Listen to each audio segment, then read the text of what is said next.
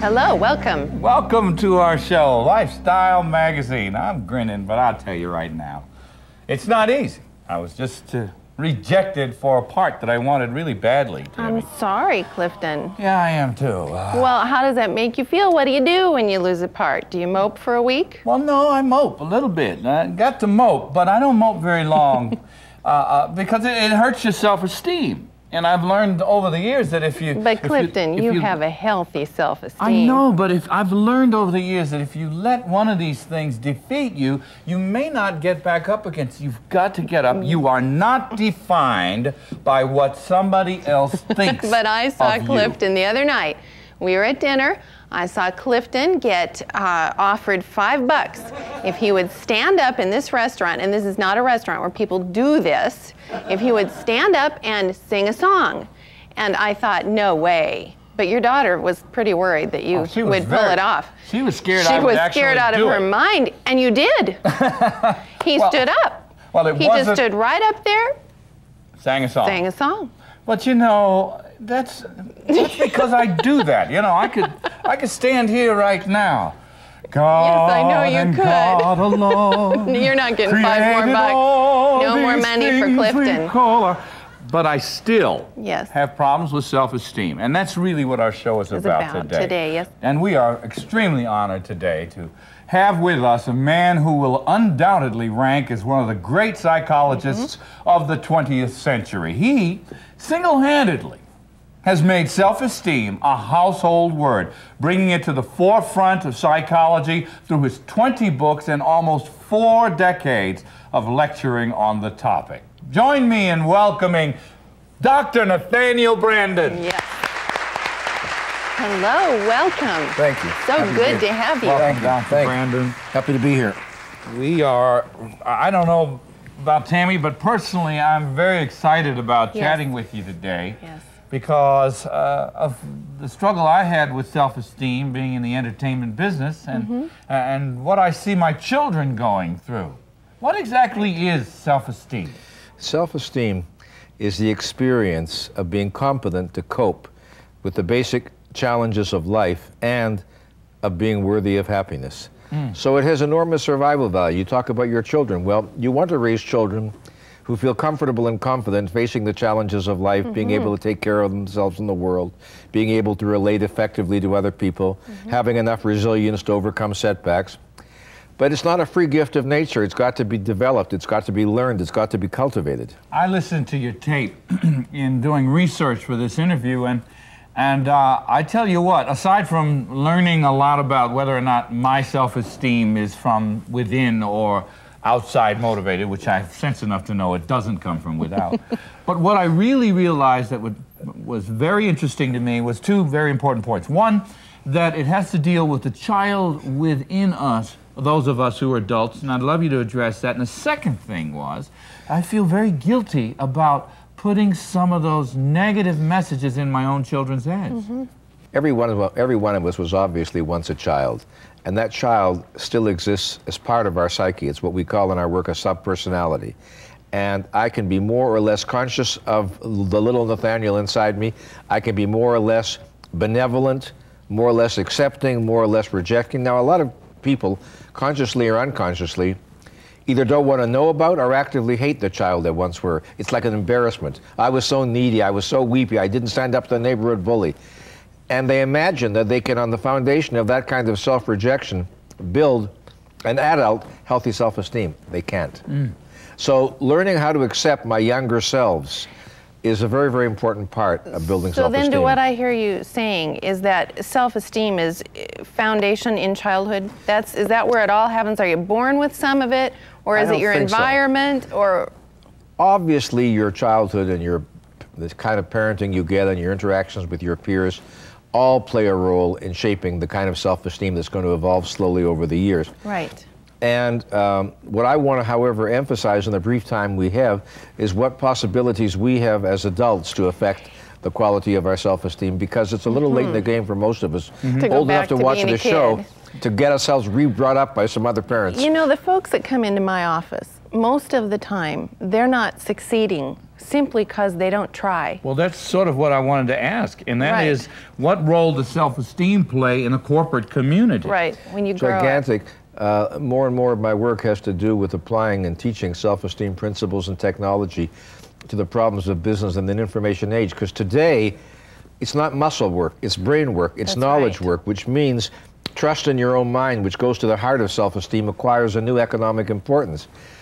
So if I approached when the countless challenges of a super competitive global economy, I need confidence in my own resources. Right. I need confidence in my own mind and my own ability to think and learn and master new challenges. Mm-hmm. If I want to relate effectively to other people, you've heard about emotional intelligence. That intimately relates to self esteem mm-hmm. because the more comfortable I am within myself, the more likely I am to treat other people with respect, kindly, generously, decently. The more insecure I am within myself, the more frightened I am. And out of my fear, I can behave very inappropriately. Wow.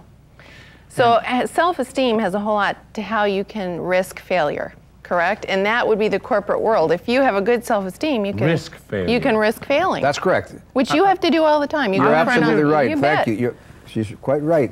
Because you see, um, if I am afraid that if I try and if I fail, that means I'm a worthless human being. That's right. It doesn't mean any such thing. You know, it's a famous statement somebody made of a very successful company. Something is wrong around here. We're not making enough mistakes. Yes. On Think that about thought, that. Yes. on that thought, we're going to come back in just a minute. And when we come back, Dr. Nathaniel Branden is going to show us the six pillars of self-esteem. We're going to build a house of self-esteem on those six pillars. Now, I want you to get a pencil. I'm serious. Go get a pencil during this commercial because you need to write this stuff down. We'll be right back.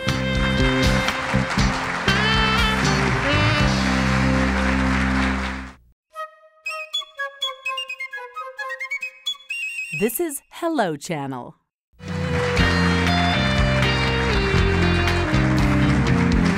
Well, I hope you all got those pencils because we're ready for the six pillars of self esteem. Somebody please write it down for Clifton.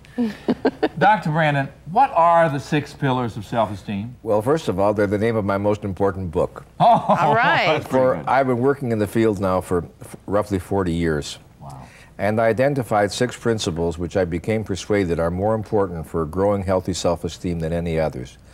They are, first of all, the practice of living consciously, mm-hmm. the practice of self acceptance, the practice of self responsibility, the practice of self assertiveness, the practice of living purposefully, the practice of personal integrity. Which one? Well, one jumps out at me, Which one? And that's the self acceptance because, you know, if you stumble, if you fall, accepting your own failure and getting back up and trying again, is that related in that It's way? supremely important if you're interested in having a happy, successful life. Think about just one simple fact. An incredibly high number of our most successful entrepreneurs have two or more bankruptcies in their past. Mm-hmm. Failure didn't stop them. Everybody fails sometimes. So, self acceptance is very, very important in terms of accepting my thoughts, accepting my feelings, accepting my actions as mine, not necessarily liking or admiring, but being truthful with myself about willing to look, yeah, I did think that, yeah, I did feel that, yeah, I did do that, and I don't disown myself, I don't repudiate myself. If I, it- if I made a mistake, I'll try to do better next time. but isn't that uh, uh, self responsibility? That's the third pillar of self esteem, and that is what does it mean? Very, very fast. I am the author of my choices and actions. I am responsible for my life and well being. I don't come into this world entitled as an adult to anything from Wow. anybody. I tell you, I've been doing psychotherapy for a long time.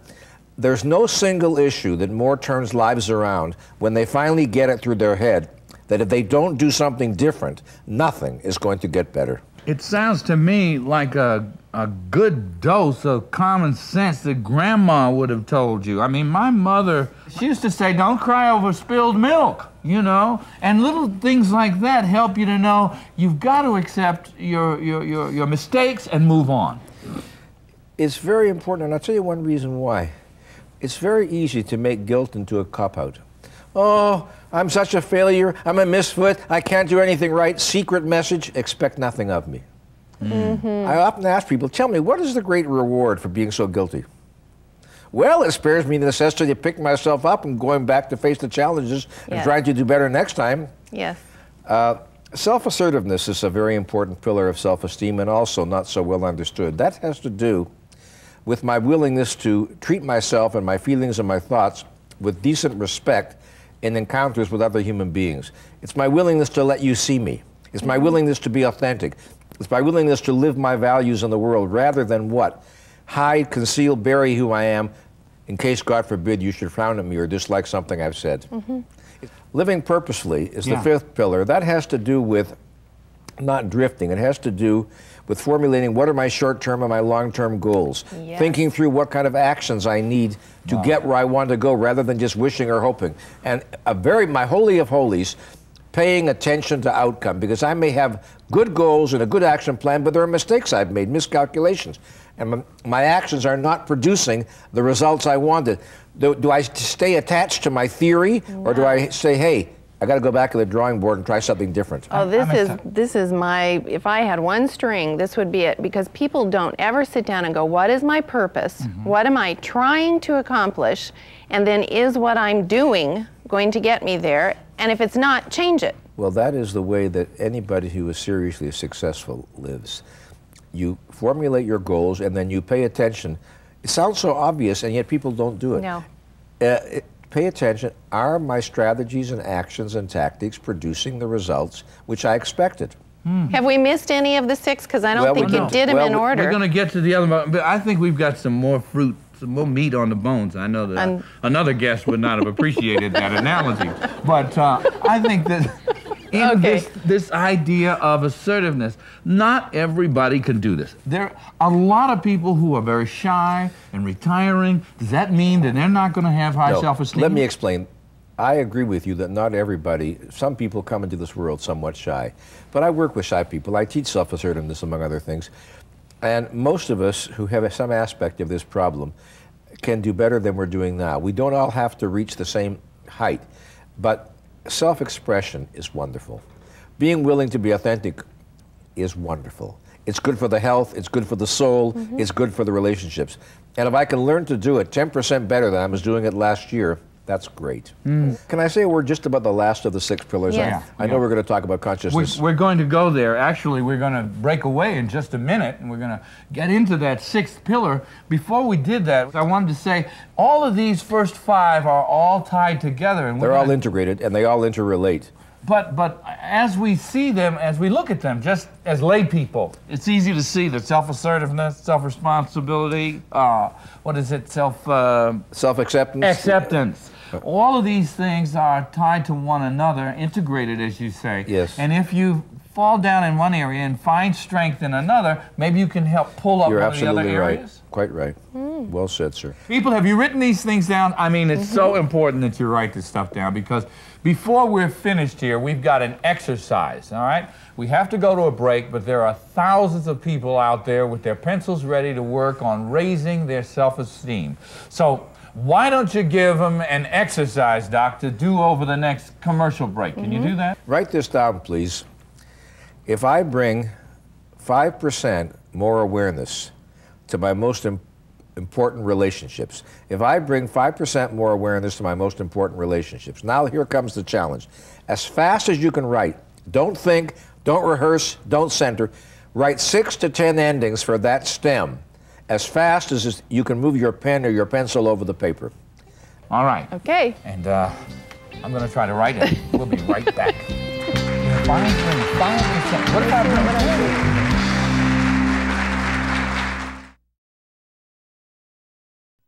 We learned English. Your kids can too. Just watch Hello Channel.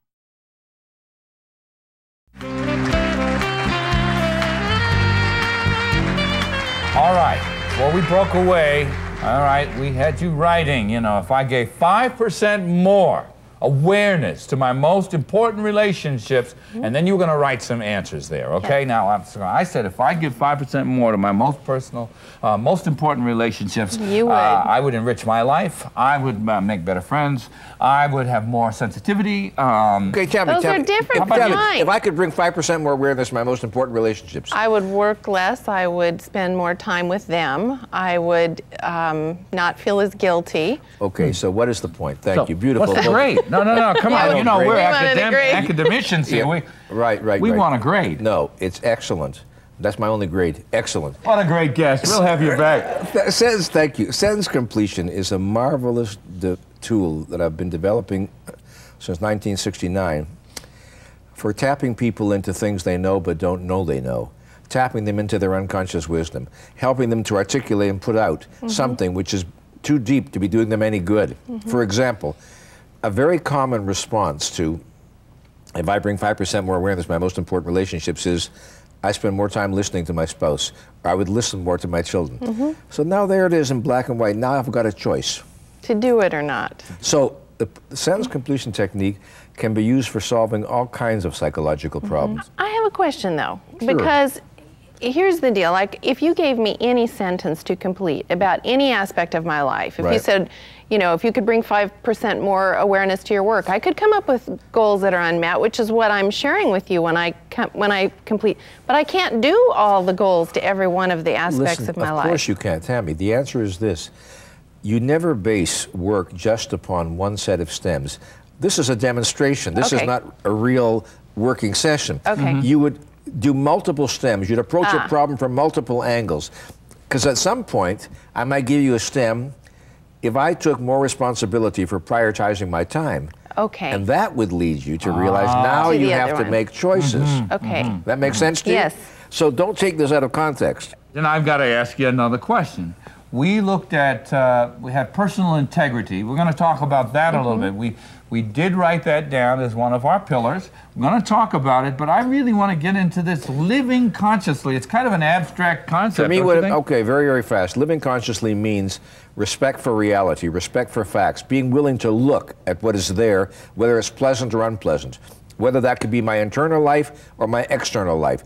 A lot of people don't look at problems, for example, in their marriage until the divorce. That's a simple example of not having the courage and to look at what I need to look at. Mm-hmm. It means having my focus where it needs to be in order to get the job done. But I'll tell you a favorite story of mine. I was giving a lecture in Washington, D.C. around five years ago. And in the lecture, I spent maybe five or 10 minutes talking about living consciously. Afterwards, a group of men took me out for coffee. And one man said, You know, the part of your talk that hit me the most was talking about living consciously. I want to tell you a story.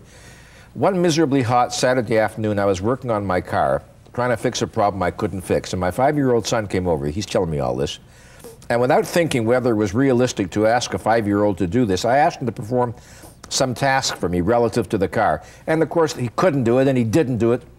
And I went berserk. I lost my temper. I became exasperated, and I hollered at him, mm-hmm. You can't do anything right.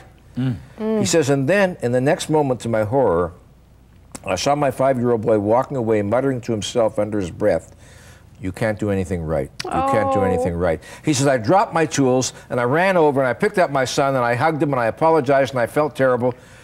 But now here's what's bothering me, Nathaniel. Thank God in that moment, I mm-hmm. caught myself and I had the chance to correct it. What frightens me is how many times I don't know what was coming out of my mouth till a week later, if ever Right. and what damage I can be doing.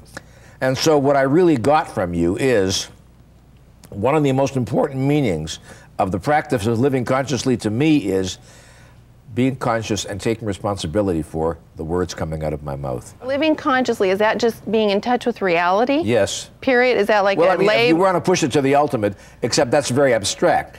But it does mean paying attention to, the to what you've got Yes. around you. Or what you're doing. Or, very important, seeking out knowledge, information, feedback that will help you achieve your goals. That's also part of being mentally active and living consciously, rather than just having high hopes. And how do I, is there an exercise I can do for myself to, to live more, I keep wanting to go self-consciously. If I brought, if I, I could, if you care to read my book, uh, The Six Pillars of Self-Esteem, or the newer book, You the have Art, a new book the newer, the new book, The Art of Living Consciously. There's dozens and dozens of exercises, to exercises. teach people how to live more consciously. The Simple art of Of living, living consciously. I want to Exa- make sure we got that Right. plug in. Example, sentence completion. If I just let me run very fast. If I bring five percent more consciousness to my deepest feelings, if I mm-hmm. bring five percent more consciousness to my insecurities, if I bring five percent more consciousness to my work, if I bring five percent more consciousness to the way I interact with people, I can g- keep going for another half hour. Why five percent? I'm often asked. Because I believe in bite-sized chews. All right. Because I don't want something intimidating. Because everybody feels, gosh, I can do 5%. But you know something? If you understand uh, compound interest, with, with 5%, you can move the world.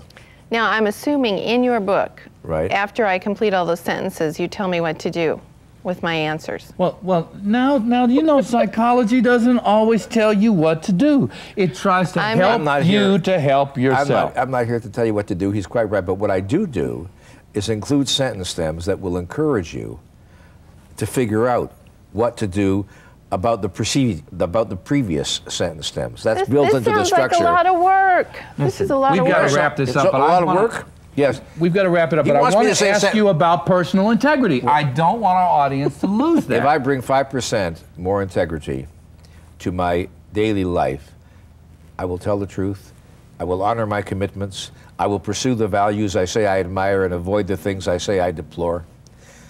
I will take responsibility for my actions. Mm-hmm. I will not hang out with people I really know in my heart I don't like.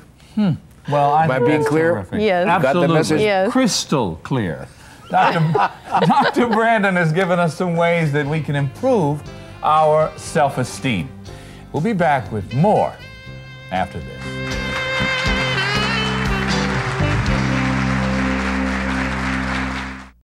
Looking for a brighter future? Learn English and make it happen on Hello Channel.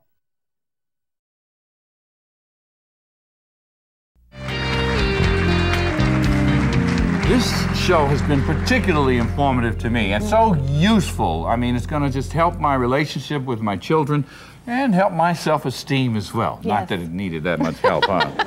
uh, how about you, Tammy? No, I think it's very motivational. Makes you stop and say, maybe I should take a look at this.